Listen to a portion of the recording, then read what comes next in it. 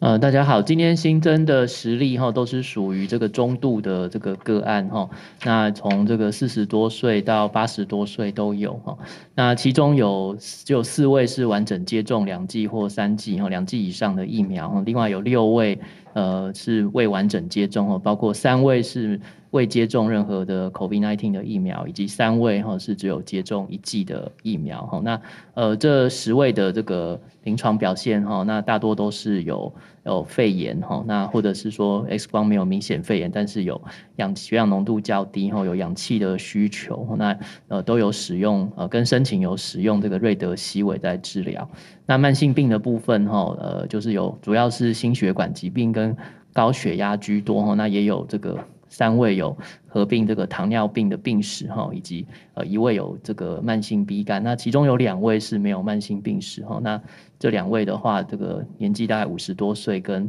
六十多岁哈。那目前这十位都没有到这个需要住加护病房的这个程度哈。那那目前都呃除了一位哈是已经呃符合解隔条件解隔之外，另外有九位都住院中，病况算是稳定。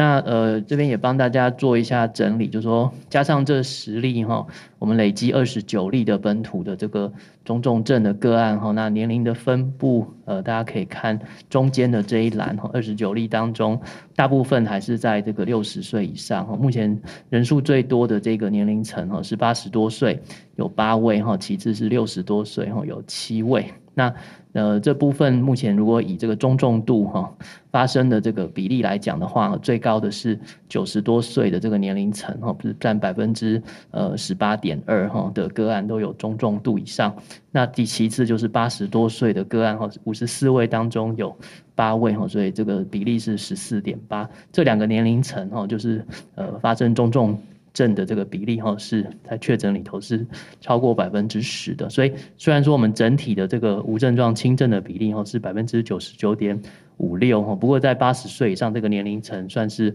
特别的高风险群哈，染疫之后会出现这个中重症的这个比例哈，都是超过百分之十以上哦，所以第一方面当然是呼吁，就是说呃都要做好防护措施哈，戴口罩、勤洗手，那另外打疫苗也是很好的一个预防的方式哈，所以鼓励这个长者还是尽速的去完整呃接种两剂或三剂的疫苗以上。好，谢谢哈，谢谢罗富哈。那大家也知道说，在这里面哈，大概疫情以现在的发展的情况，那就一定会有我们要接受哈的一个一波哈这样的一个比较大规模的染疫。但在这波染疫，从前段时间各国的经验，我们都看到，好，那最重要的哈不在于这个疫情规模的大小，而在于我们的防御能力的高低。那在防御力上面，当然就分作三个：一个是疫苗，一个是药物的准备，一个是轻重分流。好，那在药物的准备，哈，我们大概这一期里面，你昨天也进了我们那个辉瑞，大概四千一百剂，好，那在下礼拜到一万，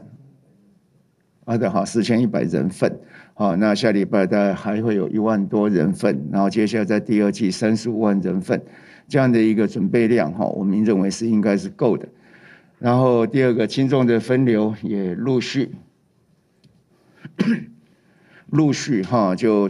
在这个我们的居家照护，刚才讲有两个县，一个县市已经开始，一个县在申请，那好几个县市昨天下午在开会，好，大家也都是在开始在做准备，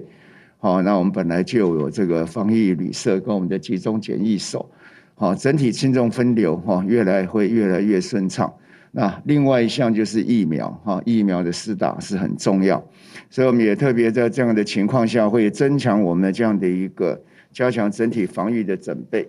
啊，所以我们以前大概记得，我们以前有要求过，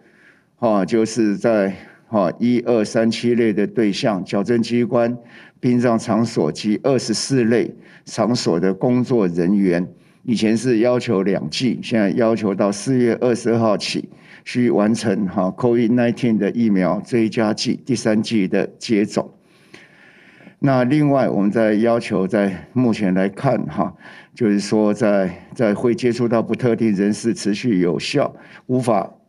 无法持续有效保持社交距离，好，这些长时间会接触的，像我们这次的相关的绕境，那接下来我们也要希望，就是说参加进香团的，好，那另外就是像旅行社承揽的相关的旅行团，这些都是会跟不特定的人士哈相处的时间会比较长，哦很难哈，因为会住会住在同一个地方，那同一个游览车交通工具，那加上饮食等等的哈，所以我们希望这些能够哈把。第第三季打满哈，那至于其他场所，八大行业已经在四月一号起实施。那另外还有一个地方就是健身房，啊，健身房当然就是说，如果能够戴口罩那就戴，如果不能够戴，好，那当然我们没有要求说一定要戴哈，就是这种。但是室内啊这样的健身，那没有口罩，那我们希望再多加一个哈，就是说如果能够打满三剂。好，在这几个是我们这次加，除了上一次要求四月一号，不四月一号就在二月的时候要求的那些相对的一二三七类矫正机关、殡葬场所二十四类的场所要打两剂的，现在增加要到打第三剂。